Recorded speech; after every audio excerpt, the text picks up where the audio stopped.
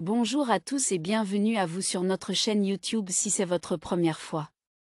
Pensez à cliquer sur j'aime et à vous abonner à la chaîne pour soutenir notre travail et ne manquer aucune nouvelle vidéo.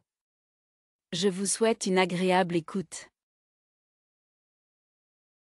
Pour investir à moindre coût dans l'immobilier en région parisienne, plusieurs astuces sont à votre portée. Privilégiez les quartiers en devenir pour obtenir des prix plus bas.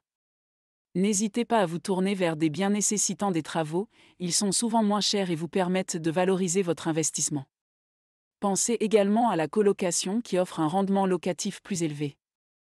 Enfin, utilisez les dispositifs d'aide comme la loi Pinel ou le prêt à taux zéro pour alléger votre investissement.